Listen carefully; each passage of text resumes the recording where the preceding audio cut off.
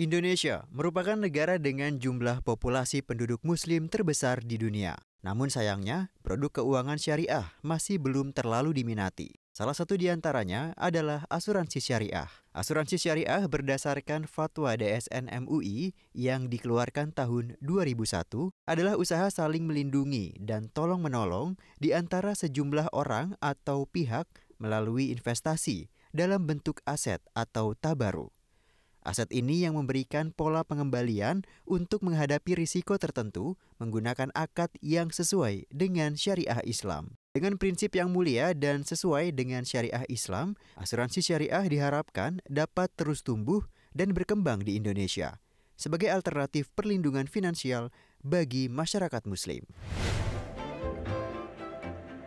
Assalamualaikum warahmatullahi wabarakatuh. Pemirsa kembali lagi dalam program Syariah Economic Talk with Gunawan Yasni Bersama saya Zakia Arfan. Dalam episode kali ini kami akan membahas mengenai asuransi syariah.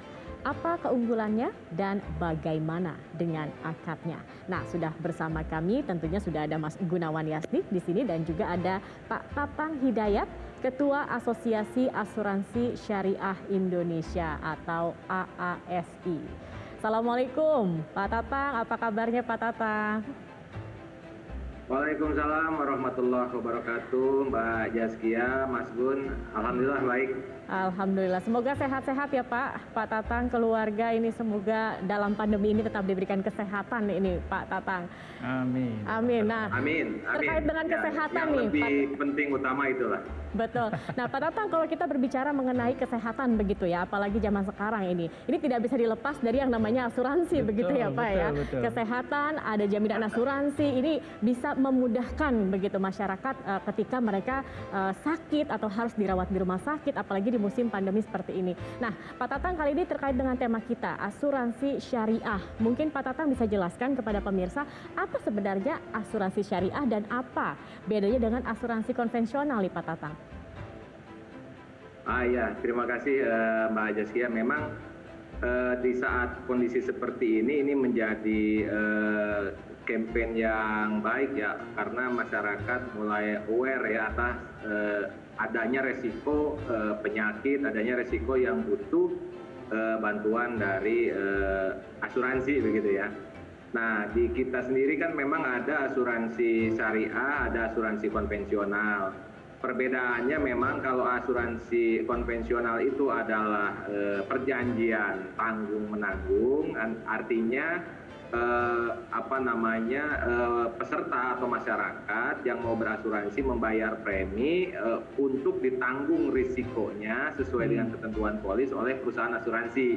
Hmm. Nah kalau di asuransi syariah bedanya adalah kita tidak ada perjanjian jual beli tanggung menanggung gitu. Tidak ada transfer of risk ya. Tidak ada uh, apa namanya transfer risiko dari uh, orang kepada perusahaan asuransi. Tetapi sesuai dengan akad yang dikeluarkan oleh DSN uh, eh, Dewan Syariah Nasional Indonesia bahwa di antara peserta ini saling berakad, saling bermufakat untuk saling tolong menolong gitu kan. Uh, apa jadi uh, peserta ini membayarkan kontribusi premi Uh, dikumpulkan sesama peserta dikelola oleh perusahaan asuransi. Jadi perusahaan asuransi mengelola dana peserta dengan mendapatkan fee dari dana peserta. Hakikatnya di antara sesama peserta inilah saling tolong menolong. Itu sebetulnya sesuai untuk umat muslim karena kehalalannya,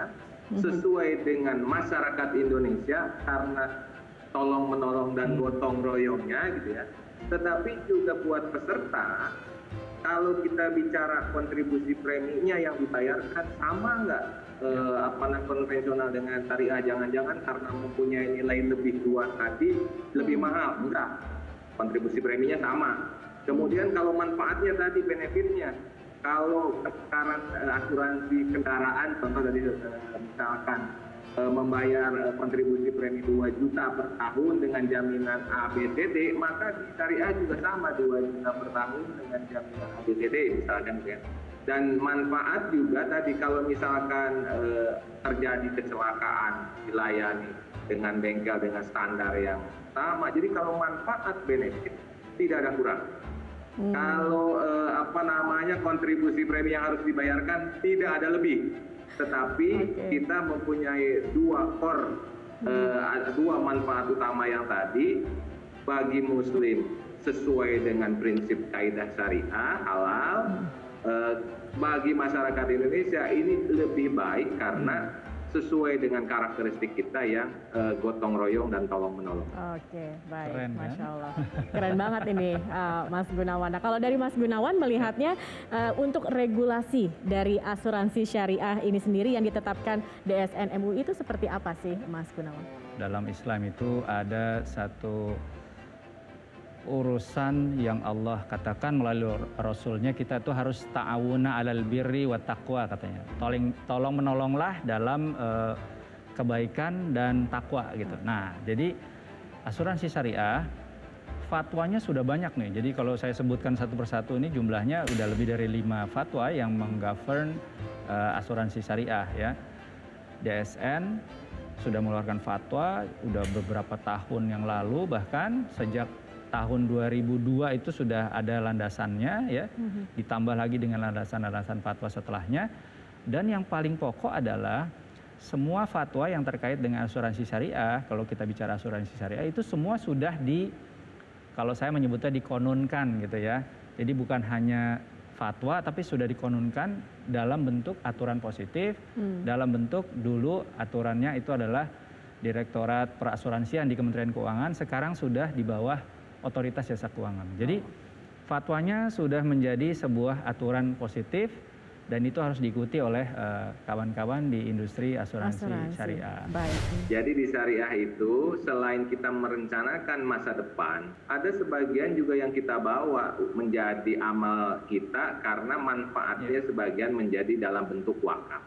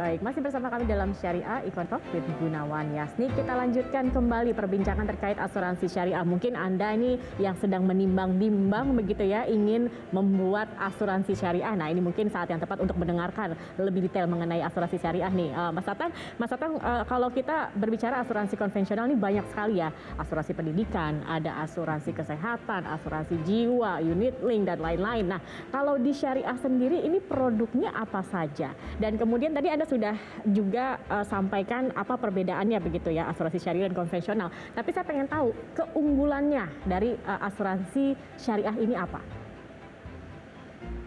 Ya, eh, kalau tadi Mbak Jaskia dari segi produk, Alhamdulillah saat ini produk asuransi syariah ini sudah eh, beragam. Bisa dibilang begini, kalau ada yang ditemukan produk di konvensional di syariah juga uh, ada uh, jaminan atau uh, manfaat yang mirip gitu ya. Hmm. Di lain pihak ada juga beberapa produk yang uh, apa namanya spesifik yang dimiliki oleh uh, asuransi syariah. Kalau kita bicara uh, jenis asuransi kan di kita ada asuransi jiwa, asuransi kesehatan, asuransi umum harta benda gitu ya. Itu di asuransi syariah juga semuanya ada uh, di asuransi jiwa misalkan ada yang unit link atau yang uh, dengan investasi ya PD ada yang memang uh, hanya asuransi saja itu juga ada. Asuransi pendidikan tadi ada. Asuransi kesehatan kumpulan artinya perusahaan misalkan itu ada. Yang keluarga ada, yang eh, apa individual ada. Tadi kalau di harta benda, rumah, mobil, motor, eh, apa kecelakaan diri, gedung, proyek itu semua juga alhamdulillah di asuransi syariah Lengkap ada. ya. Jadi komplit dan pemainnya juga artinya per- perasuransi apa perusahaan yang bisa dipilih juga banyak. Hmm. Oke, nah kalau keunggulannya dan tadi ada sebutkan kan, ada juga yang mungkin tidak ada di asuransi konvensional. Nah ini apa nih Mas Tatang? Ah ya ini tadi eh, berkaitan juga dengan nanti mungkin di eh, apa fatwa dari DSN saat ini yaitu adanya misalkan contoh produk asuransi yang mempunyai manfaat wakaf misalkan Ya. gitu ya. Hmm. Jadi di syariah itu selain kita merencanakan masa depan bagi keluarga yang ditinggalkan, misalkan kalau ada sesuatu gitu ya tadi, eh, tapi juga kita juga membawa, kita memahami eh, di semua agama bahwa ada kehidupan setelah eh, di dunia ini gitu ya. Selain kita ketika meninggal itu istilahnya me- memastikan eh, pendidikan, tadi kesehatan atau juga adanya finansial bagi keluarga, ada sebagian juga yang kita bawa menjadi amal kita karena manfaatnya sebagian menjadi dalam bentuk wakaf. Hmm, Oke, Betul, nah betul. Mas Tatang kalau kita melihat begitu ya dan Mas Gunawan ini antara asuransi konvensional dengan asuransi syariah ini pertumbuhannya juga cukup saling eh, kejar mengejar begitu ya. Nah ini ada gesekan tidak antara pertumbuhan asuransi syariah dengan asuransi yang konvensional ini Mas Tatang? Ya, semestinya sih dan sampai dengan saat ini tidak ada gesekan ya. Artinya kan juga targetnya berbeda, preferensi masyarakat juga berbeda. Kemudian juga kalau kita lihat kan eh, apa namanya eh, penetrasi asuransi terhadap masyarakat Indonesia juga masih eh, kecil ya. Artinya masih banyak market yang bisa sama-sama kita eh, Ya. apa namanya kita eh, garap gitu ya. Artinya masih banyak masyarakat Indonesia yang membutuhkan manfaat asuransi yang belum mengerti tentang manfaatnya itu sendiri sehingga kita masih berjalan eh, normal sinergi kalau ada hal-hal gesekan-gesekan kecil ya wajar lah. Ah, Gesekan kecil ada, Ada, tapi, tapi tidak besar. tidak gitu. besar Nah, karena kecil tadi. Karena kecil. Oke. Jadi Mhm. Mbak Zakia, eh, mungkin yang harus kita pahami ya, eh, kalau saya melihat asuransi syariah ini justru lebih bisa melengkapi eh, apa yang dilakukan oleh asuransi konvensional. Seperti yang Mas Tatang bilang tadi, itu ada fitur wakaf di situ. Sebenarnya ketika kita berasuransi syariah, itu ada suruhan dari Allah melalui Rasulnya yang mengatakan bahwa kita jangan meninggalkan eh, pewaris kita atau anak keturunan kita itu dalam kondisi lemah. Hmm. Nah, terus dalam melakukannya juga tadi saya sudah sampaikan ya eh, eh, ta'awuna alal birri wa taqwa. Jadi tolong menolong dalam kebaikan. Nah, ketika kita misalkan satu dan lain hal kita alami sehingga muncullah eh, hak untuk eh, anak keturunan kita memperoleh sesuatu ya, mungkin kita meninggal atau mengalami sesuatu yang eh, musibah yang kita tidak lagi ada di dunia ini, maka itu akan eh, diterima Hmm. Hak-hak manfaatnya oleh anak keturunan kita sebagaimana yang Allah dan Rasulnya suruh tadi. Tapi ada fitur lain yaitu tadi fitur wakaf Ya. sehingga boleh sepertiga daripada apa yang menjadi hak warisan eh, anak keturunan kita itu itu menjadi wakaf. Kenapa Hmm. wakaf? Mhm. Karena Allah katakan juga dalam surah Ali Imran ya ayat eh, 92 di situ Allah katakan lan tanalul bir hatta tunfiqu mimma tuhibbun.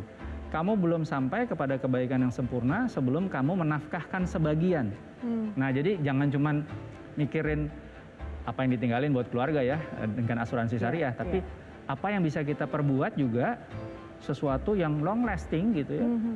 Eh, yaitu dalam konteks wakaf tadi dengan berasuransi syariah juga. Jadi inilah kelebihan dari asuransi syariah yang tidak ada di asuransi konvensional. Sehingga saya lebih lebih senang menempatkannya asuransi syariah itu menjadi pelengkap sebenarnya. Tidak ada gesekan Jadi gitu di bukan hanya protektif, tetapi juga sekaligus beribadah begitu ya Mas ya. Betul, Dan ini betul. menjawab juga mungkin keraguan-raguan banyak eh, pihak juga atau banyak masyarakat yang masih ragu asuransi ini boleh tidak sih? Bukannya ini mendahului Nah. kehendak begitu kan? Kadang masih ada yang eh, skeptis begitu ya dengan Iya. asuransi. Jadi sebenarnya sudah terjawab gitu sudah ya. menjawab dan Mhm. ketika bicara asuransi syariah itu bukan hanya mensecure now-nya. Here now itu maksudnya dunia ya. Ya.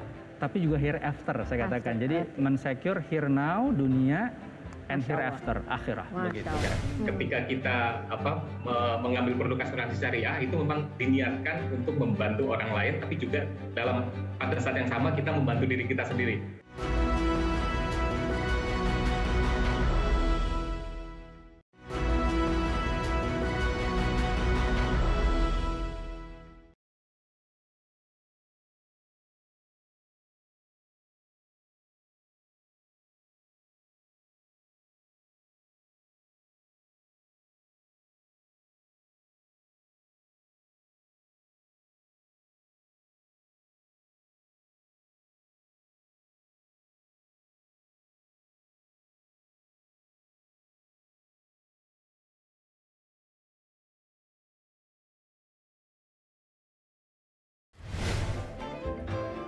Terima kasih Anda masih bersama kami di Syariah Economic Talk with Gunawan Yasni. Kita kembali akan membahas terkait dengan asuransi syariah dan kali ini sudah ada lagi narasumber kita yang bergabung. Kali ini ada Mas Yoga Prasetyo selaku Managing Director of Syariah PT Asuransi Alliance Life Indonesia. Assalamualaikum Mas Yoga, apa kabarnya ini?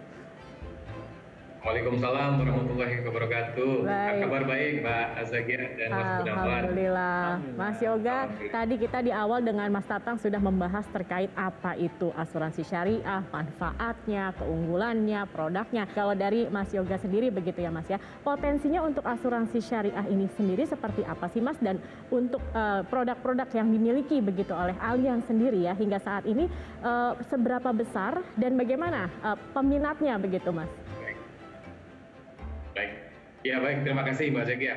Eh, tadi udah dibahas eh, sangat lengkap oleh Mas Gunawan dan Mas Tatang. Saya tambahkan sedikit lagi bahwa asuransi syariah itu salah satu unsur yang pentingnya sebetulnya adalah pada niat kita.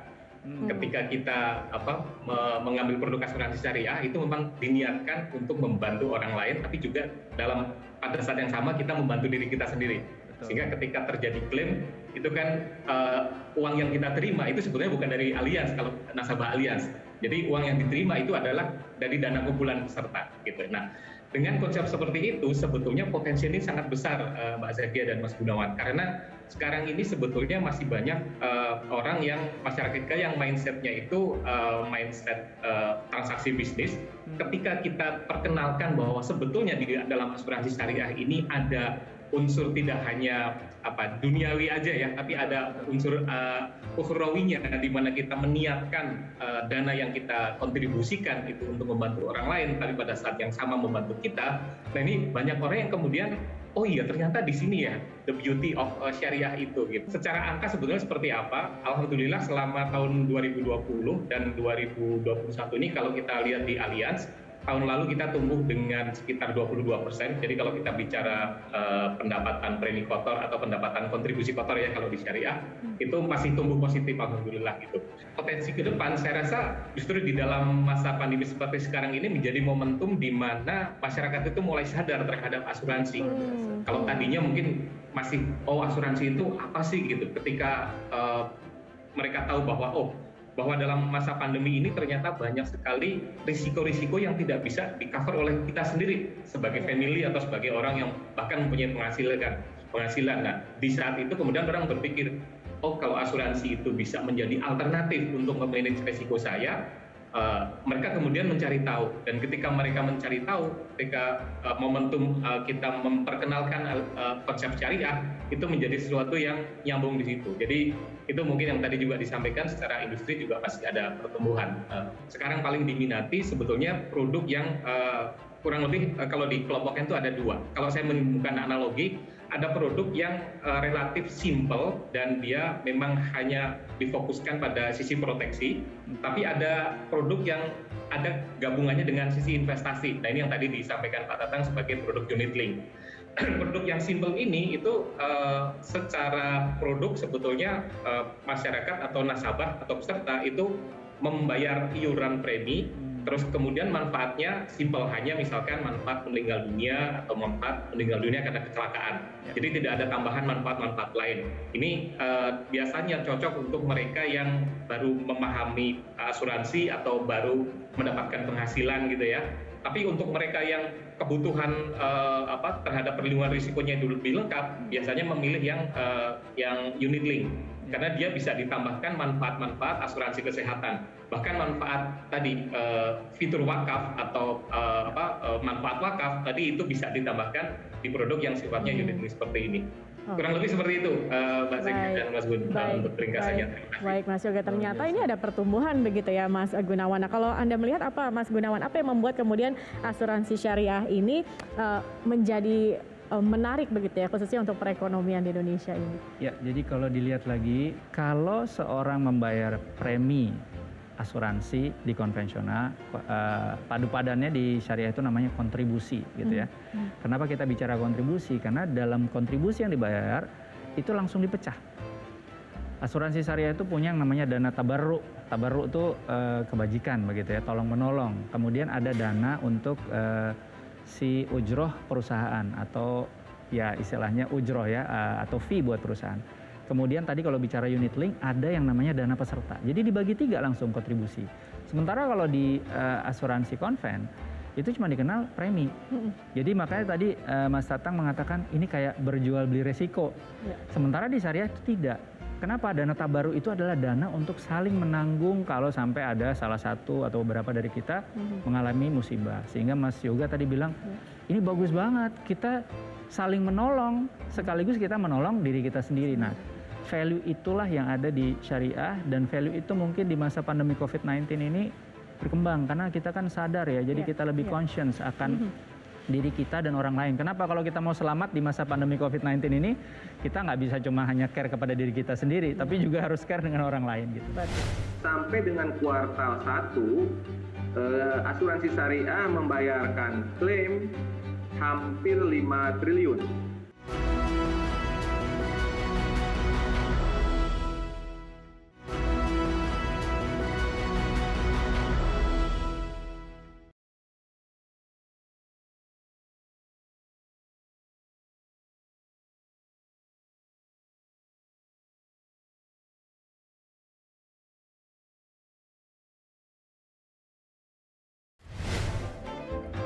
Baik, kita akan lanjutkan kembali perbincangan terkait dengan asuransi syariah. Saya ingin ke Mas Tatang lagi nih, Mas Tatang. Uh, sebenarnya apa sih Mas uh, peran begitu ya dari asosiasi ini dan juga uh, apa saja yang sudah dilakukan untuk mendorong pertumbuhan perasuransian syariah di Indonesia sekaligus juga untuk uh, pertumbuhan ekonomi begitu, Mas? Iya, eh, jadi ASI ini tahun ini bulan Agustus besok eh, tepat 18 tahun dan selama ini banyak hal yang telah eh, kami lakukan dan para pendahulu ya pengurus sebelumnya. Eh, asosiasi ini memang didirikan oleh perusahaan perasuransian selain memang diwajibkan oleh OJK adanya asosiasi yang menaungi. Asosiasi itu eh, berkontribusi dalam konteks kepentingan bersama di dalam uh, industri perasuransian syariah. Jadi selain kepentingan-kepentingan yang ada di uh, masyarakat, kepentingan uh, perusahaan sendiri, kepentingan pemerintah, maka asosiasi adalah tempat di mana Eh, dari para pelaku ini perusahaan kita kumpul dan kita eh, mengerjakan isu-isu bersama termasuk juga dalam konteks perlindungan konsumen karena juga asosiasi juga terlibat dalam pembentukan eh, lembaga arbitrase penyelesaian sengketa atau LAPS-SJK bersama dengan otoritas apabila ada hal-hal atau aduan terkait dengan klaim. Jadi eh, banyak hal yang kita lakukan eh, untuk kepentingan bersama, baik itu perusahaan, eh, baik itu regulator maupun eh, nasabah. Nah, dalam konteks eh, perkembangan eh, perasuransian syariah, alhamdulillah dari mulai eh, perasuransian syariah ini berdiri sampai dengan saat ini kita selalu mengalami pertumbuhan yang jauh lebih besar dibandingkan dengan konvensional. Contoh misalkan di dalam eh, kuartal 1 2021 ini dalam kondisi pandemi ini kami eh, eh, apa, pertumbuhan eh, dari kontribusi premi asuransi syariah itu mencapai 45 persen dibandingkan Q1 2020. Wow, lebih tinggi. Eh, dan kalau tinggi sekali gitu dan kalau kita lihat ke apa namanya manfaat bagi perekonomian ya dari eh, apa data yang terkumpul itu paling tidak ada tiga manfaat uh, bagi uh, ikut serta dalam konteks pertumbuhan perekonomian uh, negara ya.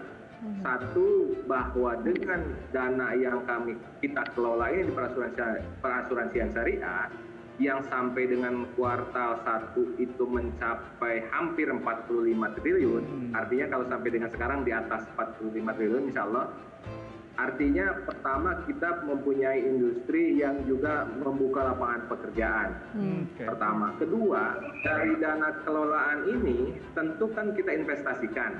Hmm. Sehingga Bu juga mensupport dari uh, apa namanya industri lain dalam konteks uh, investasi dari dana yang ada. Kemudian yang ketiga, manfaat langsung bagi masyarakat tentu dikala masyarakat eh, mengalami kesulitan tadi, mengalami resiko tadi, eh, dan itu sampai dengan kuartal satu eh, asuransi syariah membayarkan klaim hampir 5 triliun.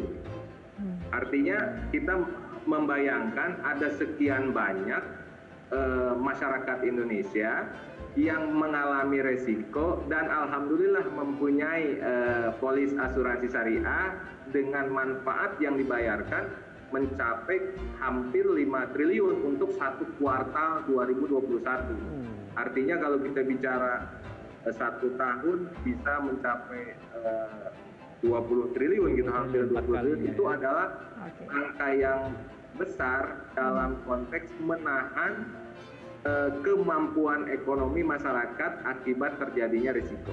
Oke, wow, luar biasa sekali, masya Allah. Iya, Mas Atang, ini memang uh, luar biasa sekali ya. Tapi saya ingin tahu kalau di Mas Yoga ini, hmm. uh, Mas Gunawan, hmm. karena kalau kita melihat begitu ya, apalagi terkait dengan uh, kondisi saat ini, pandemi, belum lagi di Indonesia ini sering sekali terjadi misalnya bencana alam seperti yeah, itu. Yeah, yeah. Mas kita melihat ada kebutuhan begitu dari masyarakat. Kemudian juga di sini ada uh, peran asuransi dengan uh, mengikuti prinsip-prinsip syariah. Nah, kalau dari Alian sendiri apa saja ini yang sudah uh, dilakukan untuk bisa mensinkronkan antara kedua ini? Mas? Ya, baik Pak. Ya, jadi salah satu prinsip asuransi sebetulnya adalah uh, dia harus hadir ketika uh, masyarakat atau dalam hal ini nasabah atau peserta itu memang uh, membutuhkan dan dia valid untuk meng mengajukan klaim karena dia menerima risiko gitu ya atau dia menghadapi risiko. Nah, dalam kondisi pandemi seperti ini, uh, saya rasa tidak hanya Alias saja, secara individu juga uh, semua pasti melakukan hal yang sama. Artinya, bagi peserta-peserta yang mereka memang uh, mengalami risiko, uh, itu kami membayarkan klaim kalau tadi Pak Tatang dan Mas Tatang menyampaikan itu di industri sekitar 5 uh, triliun ya di kuartal pertama. Kalau di uh, Alias itu jumlahnya sekitar hampir 172 miliar itu untuk kuartal pertama saja tahun 70 eh tahun tahun 2001. Nah, hmm. untuk tahun 2020 itu jumlahnya hampir sekitar 600 miliar. Nah, artinya uh, ini adalah sesuatu yang yang apa ya yang yang memang memang real menjadi manfaat yang bisa dirasakan oleh uh, para peserta. Nah, sebetulnya tidak hanya saja dari sisi uh, bagaimana menyediakan produk yang memang sudah standar membayarkan uh, santunan yang memang sudah ada di perjanjian gitu ya. Selama masa sulit seperti ini uh, di, di Allianz kami juga mencoba mendukung uh, program pemerintah uh, terutama dalam hal vaksinasi. Jadi sudah ada tujuh lokasi yang uh, kami bersama dengan pihak ketiga itu melaksanakan uh, program vaksinasi dan sejauh ini mengcover atau uh, sektornya itu sekitar 209 ribu uh, orang gitu ya. Ini suatu yang juga uh, terkait tadi bagaimana manfaat uh, perusahaan asuransi ini uh, di masyarakat.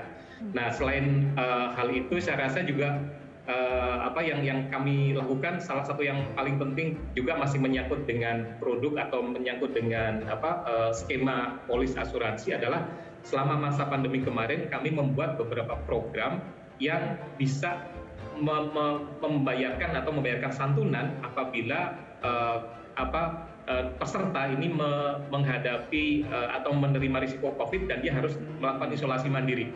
Ya, tapi ini memang program yang sifatnya tidak jangka panjang, memang program yang hanya temporer gitu. Kadang-kadang kita on off on off. Nah, kebetulan ini juga sudah mau berakhir, tapi ini adalah satu, salah satu wujud di mana kita mencoba uh, adjust dan menyesuaikan dengan uh, risiko yang dihadapi oleh masyarakat.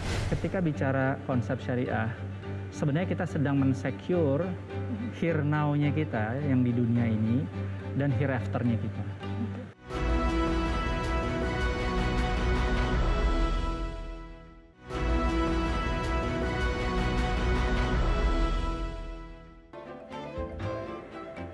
Masih bersama kami dalam Syariah Economic Talk with Gunawan Yasni. Kita sudah berada di penghujung acara. Ini Mas Gunawan, yeah saking serunya saya saking serunya, ya. saya menyimak satu persatu karena memang ini sesuatu yang ya. penting dan pasti juga banyak masyarakat yang hmm. ingin begitu ya mengetahui da lebih dalam lebih dalam mengenai asuransi syariah ini apalagi sendiri. Mbak Zakia adalah salah satu pemegang polis asuransi syariah kan memegang asuransi syariah ya, insya Allah dari tahun kemarin udah tahun kemarin, mencoba ya, okay. Ah, dalam asuransi syariah ini nah saya ingin ke Mas Tatang ini ya. karena kalau kita melihat kondisi saat ini nih Mas Tatang uh, jadi uh, kalau kita lihat di zaman pandemi yang serba tidak pasti pasti begitu ya Mas ya. Ini kan tentunya banyak tantangan-tantangan yang harus dihadapi begitu oleh uh, perusahaan-perusahaan asuransi syariah ini sendiri. Nah, apa nih kira-kira Mas yang harus diwaspadai untuk peningkatan uh, kinerja hmm. secara positif dari uh, perusahaan asuransi syariah ini Mas? Iya, kami tentu optimis dengan kinerja sampai saat ini yang kita lihat eh, sangat sangat baik gitu ya sampai dengan kuartal satu. Walaupun demikian, memang kondisi ini kan eh, sulit diprediksi lah bisa dibilang begitu ya pandemi ini. Nah, eh, beberapa hal yang mungkin menjadi catatan bagi kami para pelaku selain optimisme tadi karena melihat catatan gitu kan kami juga harus pertama memang meningkatkan eh, kewaspadaan dan tata kelola istilahnya kalau kita di jalan yang kita nggak tahu, yang bolong-bolong juga kan nggak bisa kita ugal-ugalan, kebut-kebutan gitu ya. Kalau jalannya bagus, lurus, mungkin masih bisa kita tancap gas. Ya. Artinya tetap perlu dengan kehati-hatian dan kondisi prima. Jadi saya pikir eh, dua hal itu yang eh, sangat penting dengan optimisme, tapi juga dengan kehati-hatian, tata kelola yang baik, eh, tetapi juga tadi kemampuan untuk bisa beradaptasi dengan cepat dalam kondisi yang uh, serba cepat perubahan. Oke, okay. ya, nah, ya, ya. mungkin kalau Mas Yoga gimana nih Mas Yoga, uh, apa kira-kira yang uh, harus atau yang yang akan dilakukan begitu ya Mas di masa uh, dalam keadaan yang serba tidak pasti seperti ini, begitu kalau dari Mas Yoga seperti apa dan mungkin harapan ke depannya juga nih Mas terkait dengan uh, asuransi syariah ini apa Mas? Ya, terima kasih Mbak Zakia. Uh, ya, di dalam kondisi seperti sekarang yang pasti itu kan uh, orang ber, berubah behaviornya dari yang tadinya mengandalkan uh, apa uh, face to face uh, meeting pertemuan termasuk teman-teman kita yang bertemu dengan uh, calon peserta atau calon nasabah asuransi syariah itu kan tidak bisa dilakukan lagi. Jadi bisa dibayangkan bagaimana mereka uh, harus menghadapi itu uh, semuanya full tergantung pada hal virtual semacam ini gitu. Nah, adaptasi yang dilakukan salah satunya adalah kita memfasilitasi satu uh, proses uh, apa ya pem pemasaran di mana tidak diperlukan orang itu datang kemudian tanda tangan secara langsung. Jadi semuanya full bisa dilakukan dengan tatap muka seperti ini.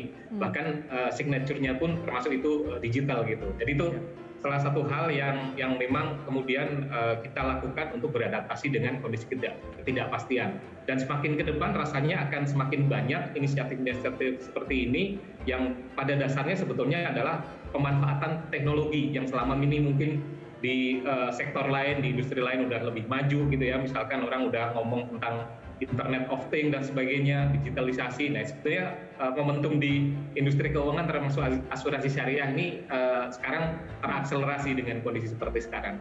Nah, ke depan sebetulnya harapan uh, yang bisa kita apa uh, lihat bersama-sama adalah masalah uh, literasi. Uh, setiap orang rasanya kalau kita bicara tentang uh, asuransi syariah, atau bahkan asuransi secara umum pasti akan menunjuk uh, faktor salah satu yang penting adalah uh, literasi mengenai asuransi syariah Tapi dalam pandangan kami sebetulnya literasi itu tidak melulu mengenai pendidikan, melulu mengenai seminar, melulu mengenai iklan gitu. Jadi literasi itu sebetulnya bisa juga di, dikemas bagaimana uh, apa ekosistem yang ada di negara kita itu bisa mendukung mendukung untuk tumbuhnya asuransi syariah. Contoh misalkan kalau beberapa waktu yang lalu kita nggak kenal itu apa e-commerce gitu ya belanja ya. lewat online gitu kan tidak perlu dijelaskan apa sih belanja online tinggal disediakan aja hmm. kemudian kebutuhan akhirnya tercipta gitu. Ya, Nah ini yang yang kayaknya belum di crack nih di, di, di asuransi syariah sehingga harapan kita kalau kita bisa bersama-sama dengan asosiasi dengan industri tidak hanya di industri keuangan saja tapi kita memperluas uh, apa uh, scope kita untuk menciptakan ekosistem saya rasa itu akan menjadi masa depan yang insya Allah cerah bagi asuransi syariah. Baik. Gitu Mas Zakia dan Mas Gunawan. Baik, terima kasih sekali Mas Yoga. Amin, amin. Semoga harapan-harapan ini dapat terwujud betul, begitu betul. ya. Jadi kalau saya memperhatikan ya, mm-hmm. kita uh, dalam situasi seperti sekarang ini akan selalu ada kalau saya lebih senang menyebutnya ana atau a new abnormal gitu ya dikatakannya ya. Akan ada ana baru ana baru berikutnya dan ketika bicara asuransi syariah, tapi kita harus ingat bahwa ketika bicara konsep syariah, sebenarnya kita sedang mensecure now-nya kita yang di dunia ini dan hereafter-nya kita. Makanya sekarang kalau saya perhatikan, selain tadi dibicarakan mengenai asuransi syariah yang general dan life, ada yang jaminan sosial seperti BPJS ya, eh, ketenaga kerjaan, kesehatan itu sudah going syariahnya itu tinggi. Jadi kalau bicara literasi, memang literasi tidak harus kita berseminar, tidak harus kita memberikan apa namanya edukasi begitu ya, training, tapi lebih kepada mencoba menyadarkan dan menyediakan bahwa memang layanan ini ada ya. dan masyarakat bisa menggunakannya untuk mensecure yang saya katakan mhm. here now dan hereafter-nya karena mhm. akan selalu ada a new abnormal atau hmm. anak-anak baru berikutnya kita walau alam nggak tahu yeah, nih ya, yeah. ya dalam kondisi pandemi COVID-19 seperti okay, itu. Baik. Begitu mungkin Mbak Zaki. Baik, terima kasih uh, Mas Gunawan dan juga terima kasih uh, Mas Yoga Prasetyo, Managing Director of Syariah PT Asuransi Alliance Life Indonesia dan juga Mas Tatang Hidayat, Ketua AASI sudah bergabung dalam perbincangan kita pada hari ini. Dan pemirsa, demikianlah perbincangan kami pada episode kali ini. Semoga pembahasan hari ini dapat memberikan wawasan sekaligus pembelajaran untuk memacu semangat Indonesia maju menjadi kiblat ekonomi syariah dunia di masa depan. Saya Zakia Arfan mewakili teman-teman yang bertugas mengucapkan terima kasih atas kebersamaan Anda. Sampai jumpa. Wassalamualaikum warahmatullahi wabarakatuh. Waalaikumsalam warahmatullahi wabarakatuh. Makasih banyak Mas Yoga, Mas, Mas terima Tata. Kasih. Terima kasih.